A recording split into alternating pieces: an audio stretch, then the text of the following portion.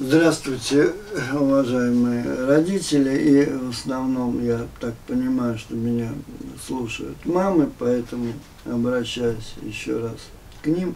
Желаю здоровья и э, процветания в жизни.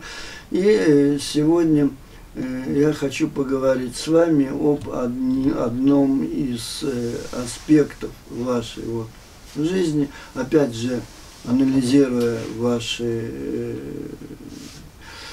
сообщения, ваши вот, э, проблемы, с которыми вы делитесь, и видя это, читая это очень внимательно, я прихожу э, к выводу, ну, скажем, достаточно неутешительному. Вот после выступления, после лекции ИСЭФы очень много откликов и очень много вот э, мыслей, которые вы высказываете, вот, натолкнули меня на то, что э, вот вам, нам сегодня надо с вами поговорить вот о чем. Дело в том, что в э, своем желании обеспечить ребенку благо, вылечить его, вот, улучшить его состояние и так далее – вы э, углубляетесь э, в эту проблему настолько, что вот создаете вокруг себя ореол вот такого вот э, несчастного, забитого существа, которое вот в своих проблемах сидит и пытается вот э, из этих проблем выйти, из этих проблем э, выбраться э, и вытягивая за собой э, ребенка. Вот э, обратил э, внимание на одну очень интересную закономерность. Э, вы все, в основном, вы пишете и говорите о том, что вот есть вы, такая вот э, замученная, несчастная, усталая мама изо всех сил, старающаяся помочь ребенку. Я понимаю, что это действительно так. Есть ребенок, и практически никто не пишет и не говорит о том, что вас окружает, о том, э, как вы живете, как ваш э, муж, как ваши другие дети. Их как бы нет в вашем окружении. Их вот э, проблемы, их заботы, они уходят куда-то на второй план. К чему это приводит? Это приводит к тому, что вы, подняв знамя своей несчастности, несете это знамя впереди себя, а все остальное вот под это знамя выстраивается – и э, совершенно забывая о том, что даже тот ребенок, который вот такой весь, э, которому вы хотите э, помочь, которому вы хотите вылечить, которому вы хотите вот создать хорошую жизнь, он оказывается задвинут, забит вот этими вашими желаниями. Вот интересно, не так давно была, она периодически всплывает, в чате дискуссия о том, э, как научить ребенка чистить зубы. Я вот читаю внимательно, вот одна мама говорит, вот она чистит зубы так, ну, в смысле ребенка приучает, другая говорит, вот предлагает ему там, он не хочет и так далее. И никто почему-то не подумал о том, что ребенок имеет право сам выбрать ту же пасту, которую ему чистит. Никто никогда не предложил ему, вот тебе вариант. Вот выбери, что ты хочешь. Это как-то уходит, почему-то вылезает, ну, прежде всего, позиция, что тебе это надо. Вот тебе надо вот это, тебе надо вот это, ты должен вести себя так и так далее, и так далее. И все забывают о том, что ребенок, пусть даже не совсем здоровый, пусть даже какой-то особенный, может быть, даже не такой, как все, тем не менее, это личность самостоятельная, независимая, имеющая право голоса, имеющая э, права и, как следствие, имеющая свои обязанности. И это почему-то совершенно уходит, причем права и обязанности не только по отношению к вам, но и по отношению ко всей семье, по отношению к отцу, по отношению к братьям и сестрам, по отношению к бабушке и дедушке.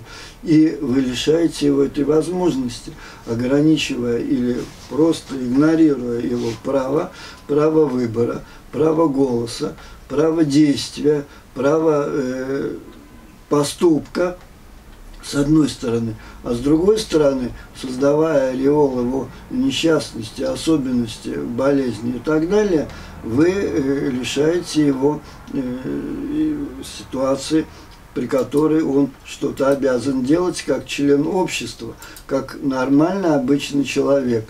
Да, непростой, да, особенный, да, со своим характером, да, со своими странностями. А теперь скажите, кто из нас простой, кто из нас без особенностей. Посмотрите вокруг, что вы видите людей без каких-то странностей, но тем не менее они э, являются э, независимыми, они могут высказываться, они могут принимать решения. Почему вы лишаете своего ребенка? Почему вы говорите, ты должен пойти туда, потому что вот ты должен пойти туда?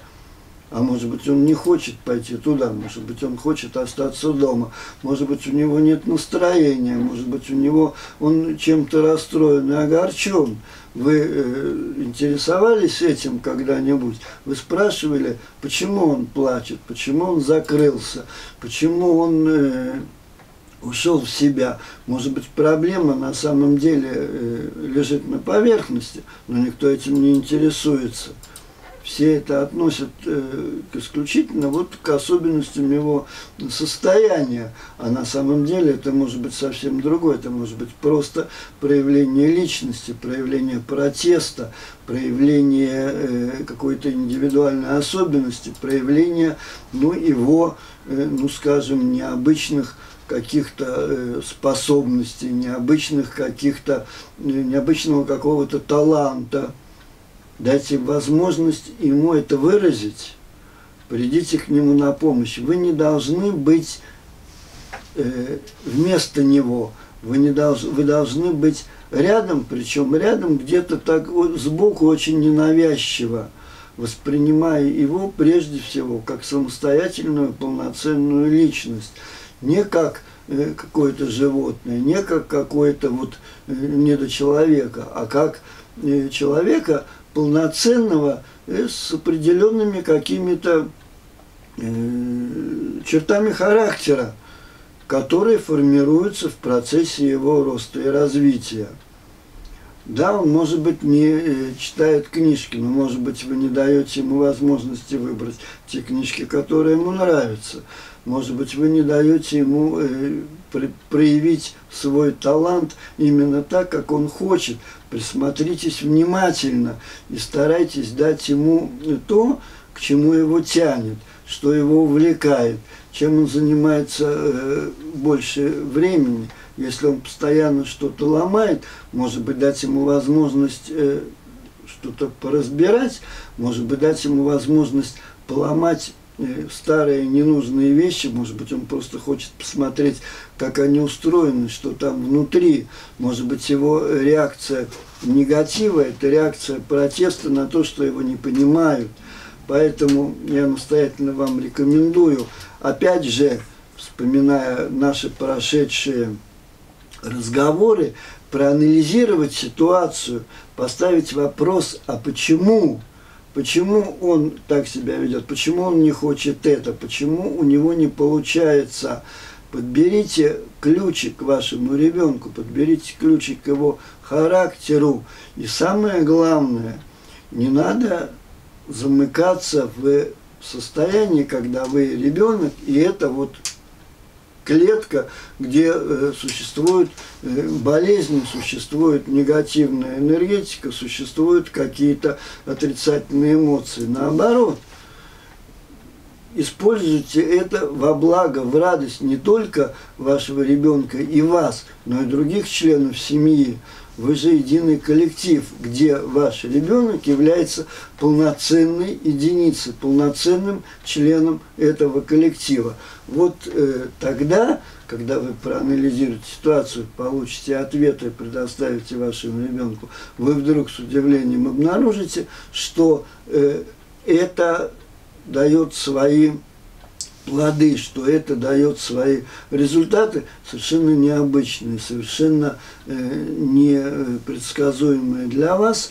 И не останавливаясь на этом, нужно идти дальше, усиливать, увеличивать, усложнять э, эти э, моменты, и таким образом вы получаете э, ребенка как э, нормального, полноценного э, члена общества, члена ячейки, которая называется семья. Надеюсь, э, вы меня услышали. И здоровья, счастья вам, успехов вам и вашей семье. Берегите себя.